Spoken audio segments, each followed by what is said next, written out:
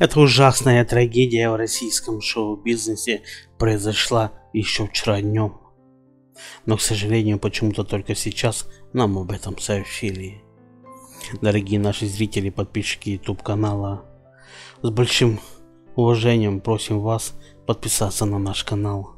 Этим самым вы мотивируете нас сделать самые интересные и свежие новости российского шоу-бизнеса. Актер России Константин Крюков, который, которого вы так все знаете, еще вчера днем попал в страшную аварию.